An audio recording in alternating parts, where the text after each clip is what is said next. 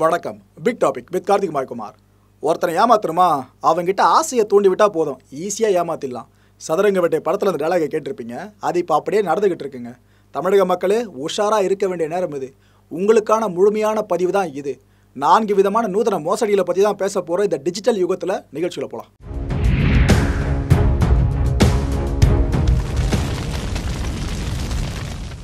உங்கள் இமெயில் ஐடிக்கு அடிக்கடி ஒரு மெயில் வந்து பார்த்துருப்பீங்க. இது போல் கோடிக்கணக்கில் பணம் உங்களுக்கு கிடைக்க போகுது. உங்கள் அக்கௌண்ட்டுக்கு நாங்கள் டைரெக்டாக ட்ரான்ஸ்ஃபர் பண்ண போகிறோம் ஒரு குறிப்பிட்ட அமௌண்ட்டை மட்டும் நீங்கள் முன் பணமாக கொடுத்தா போதும். கோடிக்கணக்கான பணம் உங்கள் கையில் வரும். அது இதுன்னு சொல்லி பல மின்னஞ்சல் பார்த்துருப்போம். இவ்வளோயா ஃபோன் நம்பருக்கு அடிக்கடி மெசேஜ் ஒன்று வரும். நீங்கள் அதிர்ஷ்டசாலி. செம்ம பெரிய ஜாக்பாட் உங்களுக்கு அடிச்சிருக்கு. பதிமூணு கோடி ரூபாய் ஒரே செக்கில் உங்களுக்கு ட்ரான்ஸ்ஃபர் பண்ணுறோம் முன்பணம் மட்டும் இவ்வளோ கட்டினா போதும். எந்த ஒரு மெசேஜும் வந்திருக்கும். இது ஒருத்தர் ரெண்டு பேர் கிடையாது. இந்த வீடியோ பார்த்துட்டு இருக்க எல்லாருக்குமே வந்திருக்கோம். கண்டிப்பாக அடித்து சொல்லலாம். இதில் எத்தனை பேர் அதை நம்பி ஏமாந்தீங்கன்னு தெரியல. எத்தனை பேர் பிளாக் பண்ணி விட்டு உங்களோட வேலையை பார்க்க போனீங்கன்னு தெரியல. அறிவாளித்தனமாக அதாங்க பெஸ்ட்டுன்னு தெரிஞ்சு. ஏன்னா எனக்கும் இது போல் மெசேஜஸும் இமெயிலும் வந்துச்சு. இதெல்லாம் படித்தவங்களே பல பேர் ஏமாறுற விஷயம். படிக்காத மக்களோட மனநிலை யோசிச்சு பாருங்கள் கோல்டு கிடைக்குது பணம் கோடிக்கணக்கில் கிடைக்குது அப்படின்னா லட்சக்கணக்கில் பணத்தை கொடுக்கறதுக்கு ரெடியாக இருப்பாங்க. அது போல் பல பேர் ஏமாந்துக்கிட்டு இருக்காங்க. இப்போ நடந்திருக்க ஒரு மோசடியை பற்றி சொல்கிறாங்க இந்த ஒரு மோசடியை சார்ந்து நான்கு விதமான நூதன மோசடிகளை பற்றி நான் தெளிவாக சொல்கிறேன் எல்லாத்தையும் மக்கள் மைண்டில் ஏற்றிக்கங்க நாளைக்கு இந்த கதையில் நீங்கள் கூட வரலாம். அந்தளவு தான் மோசடி நிகழ்வுகள் நடந்துகிட்டு இருக்கு. இப்போ சமீபத்தில் என்ன ஆயிருக்கு? நம்ம சென்னை பெரம்பூர் பகுதி இருக்குல்லங்க அதை சேர்ந்த நாற்பத்தைந்து வயது பெண்மணி ஒருத்தவங்க. இவங்க கிட்ட ரெண்டு பேர் பழகியிருக்காங்க. இந்த ரெண்டு பேருமே பார்த்தீங்கன்னா மேட்ரிமணி வெப்சைட் இருக்குல்லங்க அதை பேஸ் பண்ணி தான் இந்த பெண்மணி கிட்ட பழகியிருக்காங்க. அதில் ஒருத்தன் பேர் சலீம்னும் இன்னொருத்தன் பேர் விஜய்னும் சொல்லப்படுது. இந்த ரெண்டு பேரும் அந்த லேடி கிட்ட பேசியிருக்காங்க. அவங்களும் பதிலுக்கு பேசியிருக்காங்க. ஏன்னா மேட்ரிமணி அப்படின்னாலே துணையை தேடுற ஒரு இணையதளம் தானே. அதனால தான் பேச்சு கொஞ்சம் வளர்ந்துருக்கு. அப்போ இந்த சலீம்னு நபர் சொன்ன பார்த்தீங்களா அந்த நபர் என்ன சொல்லியிருக்காப்புல? இது போல் உங்களுக்கு ரொம்ப பிடிச்சிருச்சு. இந்த நாற்பத்தஞ்சு ஸ்பெண்ட் பண்ணிட்ட சொல்கிறாப்புல இது போல் உங்களுக்கு ரொம்ப பிடிச்சிருச்சு எனக்கு. உங்களுக்கு நான் ஏதாவது அன்பு பரிசு கொடுக்கணும்னு நினைக்கிறேன். அது வெறும் ஒரு லட்சம் ரெண்டு லட்சத்துக்குள்ள அன்பு பரிசு அடக்க முடியாது. ஒரு அறுபது லட்சம் ரூபா வரைக்கும் மிகப்பெரிய அளவில் அன்பு பரிசு நான் வாரி வழங்குறேன். நீங்கள் கண்டிப்பாக ஏற்றுக்கணும் அப்படின்னு சொல்லியிருக்கான். இதை சொன்னது அந்த பெண்மணி கொஞ்சம் சந்தேகப்பட்டிருக்காங்க. என்னடா இது லட்சக்கணக்கில் பணம் அனுப்புறான்னு சொல்கிறாரு என்ன வேலை செய்கிறீங்க அப்படின்னு கேட்டிருக்காங்க. உடனே அவர் நான் நெதர்லாந்தில் ஒர்க் பண்ணுறேன் பெரிய வேலையில் இருக்கேன். அது இதுன்னு சொல்லியிருக்காருங்க. இந்த லேடியும் எல்லாத்தையும் அப்படியே நம்பியிருக்காங்க. எல்லாத்தையும் நம்பினவங்க நான்கு லட்சம் ரூபாய் வரைக்கும் பணத்தை கட்டியிருக்காங்க. எதுக்கு நினைக்கிறீங்க? அதாவது அந்த நபர் அனுப்பிச்ச பொருள் எல்லாமே ஏர்போர்ட்டுக்கு வந்துருச்சான் ஏர்போர்ட்டில் அந்த பொருளை வெளியே எடுக்கிறதா இருந்தால் குறிப்பிட்ட அமௌண்ட்டை நம்ம கட்டணும்ல பார்த்தீங்களா அதுக்காக தான் நாலு லட்சம் ரூபாவாம் புரியுதா? இதை சொல்லி அந்த பணத்தை வாங்கிட்டு இருக்கான். வாங்கினவன் சும்மா இல்லாமல் திரும்ப அதே லேடியை காண்டாக்ட் பண்ணி இது முன்னாடி நீங்கள் கொடுத்துட்டீங்க முடிஞ்சு போச்சு. டேக்ஸ் அதுக்கெல்லாம் முடிஞ்சு போயிடுச்சு. திரும்ப அந்த பொருளை வெளியே எடுக்கிறதுக்கு வேறு ஒரு பேங்க் அக்கௌண்ட்டுக்கு இன்னும் கொஞ்சம் அமௌண்ட்டை போட்டு விடுங்கன்னு சொல்லியிருக்கான். அந்த லேடி கடுப்பாயிட்டு இருக்காங்க. ஏன்னா இந்த நாலு லட்சத்தையும் அவங்க அங்கங்கே பரட்டி தான் கொடுத்துருக்காங்களாம். கடுப்பான அந்த லேடி போலீஸ் ஸ்டேஷன் போய் கம்ப்ளைண்ட் ஃபைல் பண்ணிட்டாங்க. போலீஸாக என்ன பண்ணுறாங்க இது ஃபர்ஸ்ட் டைம் கிடையாது. கடந்த நாட்களில் மட்டுமே கிட்டத்தட்ட பதிமூன்றுக்கும் மேற்பட்ட புகார்கள் குவிஞ்சிக்கிட்டு இருக்கு சைபர் கிரைமில் மொத்தமாக உலகத்தோட மற்ற போலீஸ் டிபார்ட்மெண்ட் வந்து தப்பிச்சிடலாம். ஆனால் தமிழக போலீஸ் கிட்டேருந்து தப்பிக்க முடியாதுல சிக்கிட்டானுங்க பயப்பிள்ளைங்க இதோ திரையில் பார்க்குறீங்களே இது ஏதோ ஒரு நாட்டோட அதிபரோ இல்லை இன்னொரு பிரதமரோ கிடையாதுங்க. இந்த ஃபோனில் ஃபேக்காக பேசி அந்த நாற்பத்தைந்து வயது பெண்மணிக்கிட்ட ஒரு சில ஆசை வார்த்தைகள் கூறி காசு பார்த்தாங்க பாருங்கள் அந்த பயப்புள்ளைங்க நைஜீரியாவை சேர்ந்த பயப்புள்ளைங்க எங்கே இருந்திருக்காங்க தெரியுமா? டெல்லியில் இருந்திருக்கானுங்க. டெல்லியில் நெட்ஒர்க்காக இவங்க இயங்கி யார் யார்கிட்ட ஆசை வார்த்தையை போட்டால் விழுந்துருவாங்கன்னு தெரியுமோ அவங்க எல்லாரையும் வலையில் விழ வச்சிருக்கானுங்க. இவனில் நம்ம போலீஸ் டிபார்ட்மெண்ட் சேர்ந்தவங்க அரெஸ்ட் பண்ணி இங்கே கூட்டே வந்துட்டாங்க. அரெஸ்ட் பண்ண இவனுக்கிட்ட இருந்து பத்து ஏடிஎம் கார்ட்ஸையும் பதினஞ்சு செல்ஃபோன்ஸையும் பார்த்தீங்களா எத்தனை பேர் ஏமாத்திருப்பானுங்க பாருங்க. பதினஞ்சு செல்ஃபோன்ஸையும் இது கூட சேர்த்து நான்கு லட்சத்து முப்பதாயிரம் ரூபாயும் போலீஸார் பறிமுதல் பண்ணிட்டாங்க. மக்களே இவ்வளோ நேரம் நம்ம பார்த்தது இப்போ நடந்திருக்க ஒரு கேஸ் அப்டேட்டை பற்றி மட்டும்தான். ஆனால் இதையெல்லாம் மிஞ்சிற மாதிரி நான்கு விதமான மோசடிகள் இப்போ வரைக்கும் நடந்துக்கிட்டு தான் இருக்குது எத்தனை பேர் இதில் அதாரா இருக்கீங்கன்னு தெரியல. அவ்வளோ இந்த வீடியோ பார்த்துட்டு இருக்க சில பேர் கூட ஏமாந்தவங்களாக இருந்திருக்கலாம். வெளியே கம்ப்ளைண்ட் கொடுத்துட்டோம் அப்படின்னா குடும்ப பேர் கெட்டுருமோ? மாமியார் மாமனு தெரிஞ்சா பிரச்சனை ஆடுமோ சொந்த வீடு தெரிஞ்சா பிரச்சனை ஆடுமோ புருஷனு தெரிஞ்சா பிரச்சனை ஆடுமோ அது எதுன்னு பல பேர் பயந்துக்கிட்டு அப்படியே சைலண்டாக விட்டுருக்கலாம். நீங்கள் பயப்படுற ஒவ்வொரு செகண்டும் நீங்கள் புகாரை பதிவு பண்ண முன் வராமல் இருக்கிற ஒவ்வொரு செகண்டும் உங்களை மாதிரி நூற்றுக்கணக்கான பேர் ஏமாந்துக்கிட்டு தான் இருக்காங்க. அதெல்லாம் பாவங்க. நீங்கள் ஒரு வாட்டி ஏமாத்துட்டீங்களா? அட்லீஸ்ட் கம்ப்ளைண்ட்டில் ஃபைல் பண்ணுங்கள் உங்கள் ரகசியம் பாதுகாக்கப்படும்படி காவல்துறையிட்ட கேட்டுக்குங்க. சிம்பிளாக முடிஞ்சிருச்சு. ஏன்னா நீங்கள் கம்ப்ளைண்ட் கொடுத்தா மட்டும் தான் போலீஸ் டிபார்ட்மெண்ட்டுக்கு தெரியும். இது போல் ஒன்று நடக்குதுன்ட்டு. நீங்கள் கம்ப்ளைண்ட் கொடுக்காம தான் எப்படிங்க? ஸோ இந்த வேண்டுகோளாக முன் வச்சுருந்த அந்த வீடியோவில் அவ்வளோதான் இதை நூதனமான மோசடிகள் சொன்ன பார்த்தீங்களா இது எப்படி நடக்கும்? அப்படின்றத பற்றி இப்போ தெளிவாக ஒன்று ஒன்றா சொல்கிறேன் மொத்தம் நான்கு விதமான மோசடிகள் நூதனமாக நடந்துகிட்டு இருக்கு. இந்த இமெயில் கான்வர்சேஷனையும் ஃபோனையும் அந்த மேட்ரிமோனியான வெப்சைட் இருக்கு பார்த்தீங்களா இதெல்லாம் பேஸ் பண்ணி. இதில் மொதல் மோசடி எப்படி நடக்கும்னா இந்த கைம்பெண்ணாக இருக்கட்டும். அதை விதவைன்னு சொல்லுவோம் பார்த்தீங்களா கைம்பெண்ணாக இருக்கட்டும். இன்னொரு பக்கம் இந்த விவாகரத்தான ஆண்கள் பெண்களாக இருக்கட்டும். இவங்களை ஃபஸ்ட்டு டார்கெட் பண்ணுவாங்க. டார்கெட் பண்ணி இந்த மேட்ரிமணி வெப்சைட்லாம் நிறைய இருக்குது பார்த்தீங்களா திருமணத்துக்கு மட்டும் கிடையாதுங்க. லிவ் இன் ரிலேஷன்ஷிப்பு கூட நிறைய மேட்ரிமணி சைட்லாம் வந்துருச்சு. கண்டிப்பாக தெரிஞ்சிருக்கும் உங்களுக்கு. அது போல் மேட்ரிமோனி வெப்சைட்ஸில் இது போல் கேட்டகரியில் இருக்கவங்களை மட்டும் செலக்ட் பண்ணி அவங்ககிட்ட முதல்ல பேச்சை வளர்க்க ஆரம்பிப்பாங்க. நான் உங்களுக்கு திருமணம் பண்ணிக்கிறேன். இல்லை நம்ம இவ்வளோ வருஷம் லிவினில் இருக்கலாம். அதுன்னு சொல்லி பேச்சை வளர்ப்பாங்க. அவங்க ஒரு கட்டத்தில் விழுந்துருவாங்க. ஓகேப்பா பையன் நல்லா பேசலாம் இல்லைனா பொண்ணு நல்லா பேசலாம் அப்படின்னு சொல்லிட்டு விழுந்துருவாங்க. ஆக்சுவலாக இது போல் வலையில் விழுற பெரும்பாலானவங்க படித்தவங்க நல்லா படித்தவங்க நுனி நாக்கில் இங்கிலீஷ் பேசுகிறவங்க தான் பெரும்பாலும். இவங்களாம் எப்படி இதில் ஈஸியாக விழுறாங்கன்னு பார்த்தீங்கன்னா இந்த மோசடி செய்கிறது வெளிநாட்டில் பிறந்திருப்பாங்க பார்த்தீங்கன்னா அது போல நபர்கள் தான். வெளிநாட்டில் பிறந்துட்டு நம்ம டெல்லியோ சென்னையிலையோ இங்கே வந்து தங்கியிருப்பாங்க. இது போல ஆட்கள் தான் அதிகமாக அந்த மோசடி பண்ணிக்கிட்டு இருக்காங்க. ஸோ அதனால் அவங்களுக்கு இங்கிலீஷ் அப்படின்றது பெரிய விஷயம் இல்லை இல்லையா? அசால்ட்டாக இங்கிலீஷை போடுறாங்க. அந்த பக்கம் அவங்களுக்கு இது பெரிய இங்கிலீஷாக தெரியுது. அவ்வளோதான் அந்த இங்கிலீஷ்ன்ற ஒரு விஷயத்தை வச்சு பா பையனோ பொண்ணு செம்மையாக இருப்பாங்க போல இருக்குப்பா. வெல் செட்டில் ஃபேமிலியாக இருக்கும். அது தான் நிலைப்பாடுக்கு நம்ம ஆளுங்க வந்துடுறாங்க. அவங்க ஏமாறதுக்கு மொதல் படியே இதுதாங்க. ஸோ ஒரு வழியாக ரெண்டு பேர் பேச ஆரம்பிச்சிட்டாங்களா? அதுக்கப்புறம் என்ன ஆகும்? பேபி எனக்கு ஒன்று ரொம்ப பிடிச்சிருக்கு பேபி உனக்கு நான் ஏதாவது பண்ணணும். கோடி கணக்கில் நான் உனக்கு பரிசுலாம் அனுப்புகிறேன் முதல்ல ஆப்பிள் அனுப்புகிறேன் அதாவது ஆப்பிளில் என்னென்ன வாட்சஸ் இருக்கோ என்னென்ன ஃபோன் சீரிஸ் இருக்கோ எல்லாத்தையும் நான் உனக்கு அனுப்பிச்சி விட்றேன். என்கிட்ட நிறைய டைமண்ட்ஸ் இருக்குது கோல்ட்ஸ் இருக்குது அது எல்லாத்தையும் உனக்கு அனுப்பிச்சி விட்றேன். அது இதுன்னு கோடி கணக்கில் பேசி அந்த பொண்ணுக்கிட்ட அவ்வளோ ஆசை வார்த்தைகளை சொல்லிடுவாங்க. நம்ம பொண்ணுங்களை தான் நகை நிலை முடிஞ்சு போயிடுச்சு இல்லையா? எப்படி இருந்தாலும் விழுந்துருவாங்க. எல்லா பொண்ணுங்களில் பாதி பொண்ணுங்க நகை அப்படின்ற ஆசை வார்த்தையை கூறினாலே கிட்டத்தட்ட ஓகேங்க நீங்கள் அனுப்பிச்சி விடுங்க அப்படின்ற சொல்ல சொல்ல ஆரம்பிச்சிருவாங்க. இதே மாதிரி ஒரு சில பெண்களும் இவங்களோட ஆசை வார்த்தையில் மயங்கி சரி அனுப்பிச்சி விடுங்க அப்படின்னுறாங்க. உடனே இவனுங்க என்ன பண்ணுறானுங்க ஒரு குறிப்பிட்ட பொருளை அனுப்புகிற மாதிரி ஃபோட்டோஸ் மட்டும் ரெடி பண்ணி வச்சுக்கிறானுங்க. ஒரு பார்சல் எல்லாமே இருக்கா மாதிரி. இந்த ஆப்பிள் ஃபோனாக இருக்கட்டும் வாட்சாக இருக்கட்டும் நிறைய டைமண்ட்ஸாக இருக்கட்டும் எல்லாமே இருக்க மாதிரி வச்சுக்கிறாங்க. அதை அப்படியே முதல்ல அந்த பொண்ணுக்கு அனுப்பிச்சி விட்டுறானுங்க. பாருமா நான் எல்லாத்தையும் அனுப்பிச்சிட்டேன். கொரியர் உங்கள் நாட்டுக்கு வந்துக்கிட்டு இருக்கு இப்போ. அந்த கொரியர் வந்ததும் கஸ்டம் டியூட்டி மட்டும் கட்டுற மாதிரி இருக்குமா? அதை மட்டும் கட்டி அந்த பொருள் அங்கேருந்து எடுத்துக்குமா? அப்படின்னு சொல்லிடுறானுங்க. கஸ்டம் டியூட்டி எவ்வளோங்க அப்படின்னு அந்த பொண்ணு கேட்குது அப்போ அவன் என்ன சொல்கிறான் ரெண்டு லட்சத்தில் ஆரம்பிச்சு ஆறு லட்சம் ரூபாய் வரைக்கும் இருக்கும். நீ கட்டிடு அவ்வளோதான் கோடிக்கணக்கில் பணம் உனக்கு தான் சொந்தம். அவ்வளோ பொருளும் அவ்வளோ வேர்த்து கோடிக்கணக்கில் இருக்கும் எடுத்துக்கோ அப்படின்னு அவன் சொல்லிடுறான். ஆசை முடிஞ்சு போயிடுச்சு. அந்த பொண்ணு அங்கங்கே பணத்தை புரட்டி கட்டிடுறாங்க. கட்டினதுக்கப்புறம் பெருமூச்சு விட்டு உக்காந்துடுறாங்க. அப்பா எல்லா பொருளும் வந்துடும் நம்ம நாளைக்கே போகிறோம் கஸ்டம் டியூட்டி கட்டிட்டு எல்லா பொருளும் எடுத்துகிட்டு வந்துடலாம்னு சொல்லிட்டு. இந்த இன்பிட்வீன் கேப் இருக்குது பார்த்தீங்களா அந்த பொருள் இந்த பொண்ணு கைக்கு வந்து சேர்றதுக்கும் இந்த பொண்ணு அந்த விமான நிலையம் போகிறதுக்கே இருக்க இன்பிட்வீன் கேப்பு இதுக்குள்ளே அந்த பொண்ணுக்கு சந்தேகம் வந்துடக்கூடாது அப்படின்றதுல அந்த ஏமாற்று பேர் வழிகள் ரொம்ப தெளிவாக இருப்பானுங்க. என்ன பண்ணுவானுங்கன்னா ஏர்போர்ட்டில் இருந்து கஸ்டம்ஸ் ஆஃபீஸர்ஸ் பேசுகிற மாதிரி இவனுங்களே பேசுவானுங்க. இது போல் ஒரு பார்சல் உங்கள் பேரில் வந்திருக்கு ஏர்போர்ட்டில் நீங்கள் வந்தீங்கன்னா உடனே எடுத்துக்கலாம். இவ்வளோ அமௌண்ட் கட்ட வேண்டியதாக இருக்கும் அப்படின்னு அவன் சொல்கிற மாதிரி இருக்கும். இந்த பொண்ணு கொஞ்சம் கான்ஃபிடன்ட் வந்துடும் பார்த்தீங்களா ஓகே நாம ஏமாறல. கரெக்டாக தான் இருக்குது கஸ்டம் ஆஃபீஸர்ஸே ஏர்போர்ட் வந்து பேசுகிறானா கரெக்டாக இருக்கும்னு அப்படி அதையும் நம்பிடுவாங்க. அதுக்கப்புறம் இன்னொரு கால் வருங்க. அந்த காலில் என்ன சொல்லுவானா இது போல் நீங்கள் முதல்ல கட்டின அமௌண்ட் இருக்குல்ல ஆறு லட்சம் ரூபாய் வரைக்கும். இது கஸ்டம் டியூட்டிக்கே மொத்தமாக போயிடுச்சு. கொரியர் சார்ஜ்னு ஒன்று இருக்குமா? அது வேறு தனியாக கட்டணும். அது ஒரு பத்து லட்ச ரூபா கட்டிடு முடிஞ்சு போயிடும் அப்படின்னு சொல்லுவான்.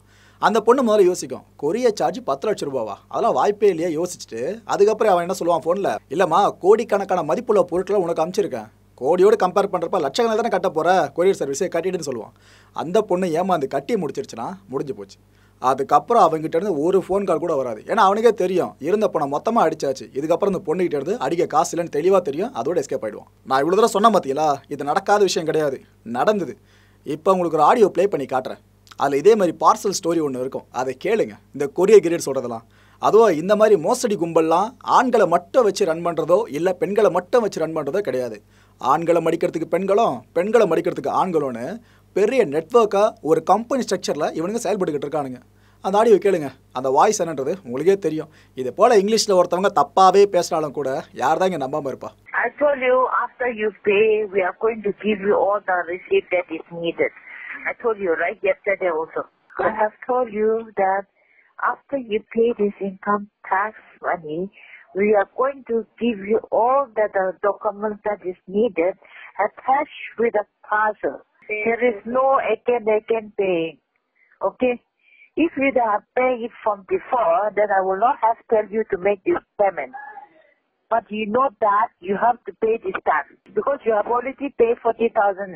மக்களே மொதல் மோசடி பார்த்துட்டோம் மேட்ரிமணி வெப்சைட்டை பேஸாக வச்சுக்கிட்டு கைம்பெண்களையும் இந்த விவாகரத்தான ஆண்களை பெண்களை எப்படிலாம் இவங்க ரூட் பண்ணி மடக்கிறாங்கன்னு சொல்லிட்டு அடுத்தபடியாக ரெண்டாவது மோசடி.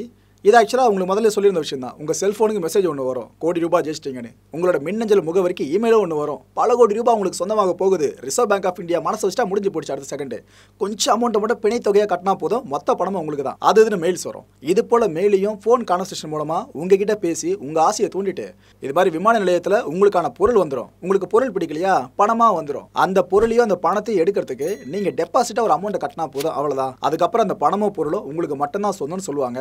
இதை நம்பி பல பேரும் பண்ணி வைப்பாங்க அந்த வேலையை. அதான் பணத்தை இருக்கு பாருங்க. அதை கட்டி தொலைப்பாங்க. கடனை உடனே வாங்கி. மூணாவது மோசடி பார்த்தீங்கன்னா உங்களுக்கு ஜென்ரிக்காக ஒரு கால் ஃபோன் காலோ இல்லைனா வாட்ஸ்அப் காலோ அப்படி அதுவும் இல்லைனா மெயிலோ வருங்க. அதில் என்ன சொல்லுவாங்கன்னா இது போல் நான் இந்த நாட்டில் இருக்கேன். அமெரிக்காவிலையோ பிரிட்டன்லையோ இருக்கேன்.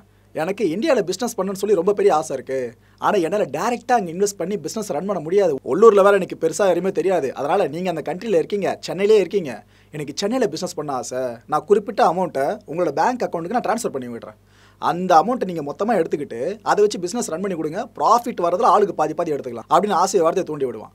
இந்த ஒரு விஷயத்த ஒரு ஃபாரின்காரன் அவனோட ஆங்கிலத்தில் பேசினானாக்கா பசங்களோ பெண்களோ விழாமையாக இருப்பீங்க. விழுந்துருவீங்களா? எல்லாரையும் சொல்லலை. ஒரு சில விழுந்துருவீங்களா? ஸோ விழுந்தவங்க என்ன பண்ணுவீங்க? உங்களோட பேங்க் அக்கௌண்ட் டீட்டெயிலை அவனுக்கு கொடுத்துருவீங்க. அவன் உடனே பணத்தை ட்ரான்ஸ்ஃபர்லாம் பண்ணி விட மாட்டான். ஏன்னா அவன் வரதவங்களை ஏமாத்ததா ஏமாறதுக்கு இல்லை. இது போல் ரிசர்வ் பேங்க் ஆஃப் இந்தியா நிறைய ரூல்ஸ்லாம் வகுத்து வச்சிருக்காங்க. இந்த ரூல்ஸ் மீட் பண்ணி மேலே வரணும் அப்படின்னா எனக்கு நீங்கள் டெபாசிட் அமௌண்ட்டை ஒன்று கட்ட வேண்டியது இருக்கும். அதுக்காக ஒரு அஞ்சு லட்சம் ரூபாய் தேவைப்படுது. அதை நீங்கள் இந்த பேங்க் அக்கௌண்ட்டில் போட்டுருங்கன்னு அவள் ஒரு அக்கௌண்ட் நம்பரை கொடுப்பான். புரியுதா? காசு கொடுக்குற மாதிரி ஆசையை காமிச்சு காசு அவள் எடுப்பான். இந்த வேலையை தான் பார்ப்பான். இதில் ஏமாறுற பல பேர் என்ன பண்ணுவீங்க? காசை போட்டுட்டு கோவிந்தா போட்டு உட்கார வேண்டியது தான் இதில் நாலாவது மோசடி பண்ட மாற்று முறை கேள்விப்பட்டிருக்கீங்களா? பண்டைய காலத்தில் இருந்துச்சு. கிட்டத்தட்ட அதை ஒத்தது தான் அந்த காலத்துலேயும் ட்ரை பண்ணிட்டு இருக்க மெத்தட் மாதிரி தான் இருக்குது என்ன பண்ணுவானுங்க இந்த மோசடி கும்பல்காரனுங்க? இந்த ட்விட்டர் ஃபேஸ்புக் இது போல் சமூக வலைதள பக்கங்களை பயன்படுத்தி உங்களை அப்ரோச் பண்ணுவாங்க. அப்ரோச் பண்ணிவிட்டு இது போல் நீங்கள் இருக்க ஏரியாவில் தான். ஏன்னா நீங்கள் இருக்கிற ஏரியாவெல்லாம் ஆல்ரெடி ஃபேஸ்புக்கிலே கொடுத்துருப்பீங்க. எங்கே நீங்கள் வாழ்ந்துட்டுருக்கீங்க? எங்கே நீங்கள் இதுக்கு முன்னாடி இருந்தீங்க? எல்லா விஷயம் நீங்களே ஃபேஸ்புக்கில் கொடுத்துருக்கீங்க. முடிஞ்சு போயிடுச்சு. ஸோ அதை பேஸ் பண்ணி தான் உங்கள் ஏரியாவில் என் ஃப்ரெண்டு ஒருத்தர் இருக்கான். அவன்கிட்ட நான் கொடுக்குற பார்சலை மட்டும் கொடுத்தணும் ப்ரோ அந்த பார்சலோட மதிப்பு ஒன்றரை கோடி ரூபா இருக்கும். அதை மட்டும் நீங்கள் கைமாற்றி விட்டுட்டீங்கன்னா போதும். அந்த பொருளில் பாதி அப்படியே உங்களுக்கு கொடுத்துட்றேன் ஏன்னா எல்லாமே எலக்ட்ரானிக் எக்யூப்மெண்ட்ஸ் தான். அதை அவன் விற்று பயங்கரமாக காசு பார்த்துப்பான். நீங்கள் பாதி பொருள் எடுத்துக்கலாம். அப்படின்னு ஆசை வார்த்தை உங்ககிட்ட சொல்லுவான். நீங்கள் என்ன பண்ணுவீங்க? சரி ஓகே ப்ரோ நான் கொடுத்துட்றேன் பொருள் தானே. என்கிட்ட காசுலாம் நீங்கள் கேட்கலையே. அப்புறம் என்ன ஓகே சொல்லுவீங்க. அவன் அதுக்கப்புறம் என்ன பண்ணுவோம்? ஒரு வாரம் கழிச்சு அவன் பிரதர் உங்ககிட்ட நீ சொன்ன பார்த்தீங்களா இது போல் பொருள் அனுப்புறேன்னு சொல்லிட்டு. எல்லாம் அனுப்பிச்சிட்டேன். சென்னை ஏர்போர்ட் தான் பொருளாக வந்திருக்கு. ஆனால் திடீர்னு ஒரு கிடுக்குப்பிடி போடுறாங்க ஆஃபீஸர்ஸ் கஸ்டம்ஸ் டியூட்டி கட்டணும்னு சொல்கிறாங்க ப்ளீஸ் அதை மட்டும் கட்டி எடுத்துக்க முடியுமான்னு சொல்லிட்டு இன்னொரு டோக் போடுவோம் அவங்ககிட்ட ஃபோனில் அதை கேட்டு நீங்கள் என்ன பண்ணுவீங்க? சரி பொருளே வந்துச்சுன்றான் ஃபோட்டோவில் வேறு அனுப்பிச்சிருக்கான் நம்ம போய் எடுத்துக்கலாம் அப்படின்ட்டு கிளம்புவீங்க. அப்போ உங்கள் நடுவில் டவுட் வரும். கொரியரில் வந்திருக்கு இல்லைனா கஸ்டம் ஆஃபீஸர்ஸ் கிட்ட வந்திருக்கு அப்படின்னா அவங்க ஆத்தென்டிகேஷன் ஏதாவது ஒரு டாக்குமெண்ட் அனுப்புவாங்களே எதுவுமே இல்லையே அப்படின்னு டவுட் வரும். அவன் அதுக்கும் தெளிவாக யோசிச்சிருப்பான். இப்போ உனக்கு ஸ்க்ரீனில் ஒரு சில டாக்குமெண்ட் தெரியுங்க. அதை பாருங்கள் கொரியரோ இல்லைனா இது போல் பொருளை வந்துச்சுன்னா இது போல் தான் டாக்குமெண்ட் ஒன்று வரும். இதை அப்படியே அவனுங்க ஒரிஜினல் மாதிரி செஞ்சு வச்சுருப்பானுங்க. அதை அப்படியே உங்களுக்கும் ஃபார்வர்ட் பண்ணி விடுவானுங்க. இதை வச்சு தான் பல பேரை ஏமாறுறோம். ஓ உண்மையிலேயே ஏர்போர்ட்டுக்கு பார்சல் வந்துச்சு போல இருப்பான்னு சொல்லிட்டு. அண்ட் இதோடு நிற்காதுங்க நீங்கள் ஏர்போர்ட் போயிடுவீங்க. அங்கே நீங்கள் தேடுற பொருள் இருக்கவே இருக்காது. அதுக்கப்புறம் என்ன பண்ணி டவுட்டில் அவனுக்கு கால் பண்ணி கேட்பீங்க அப்பாவை என்ன சொல்லுவா? பிரதர் நானும் எழுதி பேசி முடிச்சிட்டேன். நீங்கள் ஜஸ்ட் அங்கே இருக்க ஒரு நபர்கிட்ட இவ்வளோ பணத்தை கொடுத்தா போதும் மட்டும் சொல்லிடுவாங்க. இதை நம்பியும் ஒரு சில பசங்க பணத்தை கொடுத்துட்டு வந்துருவாங்க. வீட்டுக்கு பொருள் வந்துடும் அப்படின்னு சொல்லிட்டு. கடைசி வரைக்கும் பொருள் வராது. ஏமாற்றம் தான் மிச்சமாகும். என்னடா உண்மையிலே இது போல பணத்தை கட்டி ஏமாறுவாங்களா? அப்படின்னு கேட்டிங்கன்னா ஆதாரம் இல்லாமல் நம்ம எதுவும் சொல்லலை. இப்போ ஸ்க்ரீனில் உங்களுக்கு ஒரு இமேஜ் தெரியுதுல்ல அது வேறு எதுவும் இல்லை. இதுக்கு முன்னாடி பணத்தை கொடுத்து ஏமாந்தவங்க. பேங்க் அக்கௌண்ட்டில் ட்ரான்ஸ்ஃபர் பண்ணிடுவாங்க. அடுத்த வாட்டி ஃபோன் பண்ணுறப்ப இன்னொரு பேங்க் அக்கௌண்ட் நேமை சொல்லுவாங்க. அதுக்கும் ட்ரான்ஸ்ஃபர் பண்ண ரெடியாக இருந்திருப்பாங்க. இது போல் ஏமாளிகள். இது போல் ஒரு ஃபோட்டோ தான் நீங்கள் இப்போ பார்த்துக்கிட்டு இருக்கீங்க. ஸோ தெரிஞ்சிச்சா மக்களே உங்களை சுற்றி நடந்துட்டு இருக்க விஷயம் தான் அது யாரையோ பற்றி பேசலை. நாளைக்கு இதே ஃபோன் காலோ மெசேஜோ இல்லை மெயிலோ உங்களுக்கு வரலாம். ஸ்க்ரீனை பார்த்தீங்களா செம்மையாக இருக்குல்ல நகை. வேறு லெவலில் இருக்குல்ல. நம்ம ஊரில் இருக்க தங்க மாளிகை எங்கே போனாலும் கிடைக்கும் போல இருக்குது ஆனால் ரேட்டு தான் கொஞ்சம் அதிகமாக இருக்கும். நம்மகிட்ட தான் காசு இல்லையா என்ன பண்ணுறது வாங்கலாம் இருந்தா. அப்படின்னு ஃபீல் பண்ணிட்டு இருப்பீங்களே இந்த ஃபீலிங்ஸை தான் அவங்க கரெக்டாக பயன்படுத்திக்கிறாங்க.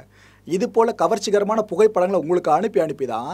நீங்கள் காசு கொடுத்தா போதும். இதை விட பெஸ்ட்டான நிறைய மெட்டீரியல் நாங்கள் உங்களுக்கு அனுப்புகிறோம் கோல்டு டைமண்ட் என்ன வேணும் நாங்கள் அனுப்புகிறோம் அது இதுன்னு ஆசை வார்த்தை சொல்லி உங்கள் மனசில் எவ்வளோ விதைக்க முடியுமோ ஆசையை விதைச்சி விட்டுருவானுங்க.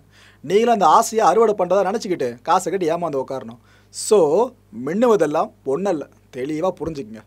சரி தம்பி இவ்வளோ தூரம் சொல்லி எங்களை அலர்ட் பண்ணிட்டேன். ஆனால் இந்த நான்கு விதமான மோசடிகளில் நாங்கள் ஏதோ ஒரு மோசடியில் சிக்கிற நிலமை வந்துச்சு அப்படின்னா நாங்கள் என்ன பண்ணுறது இந்த நிலைமைக்குள்ளே சிக்காமல் இருக்கணும்னா நாங்கள் என்ன பண்ணுறது இந்த ஒரு கேள்வி கேட்பீங்களா? அதுக்கான பதிலையும் தரேன். ஏன்னா ஊடக தர்மம் பிரச்சனை பற்றி மட்டும் பேசுறதில்ல. அதுக்கான தீர்வை முடிஞ்சளவு சொல்கிறது தான் அதை இப்போ ட்ரை பண்ணுறேன் என்ன அப்படின்னு பார்த்தீங்கன்னா இந்த போலியான வெப்சைட்ஸ் நிறைய இருக்குல்ல அது உங்களுக்கு பார்த்தாலே தெரிஞ்சிடும் ரொம்ப கஷ்டம் கிடையாது.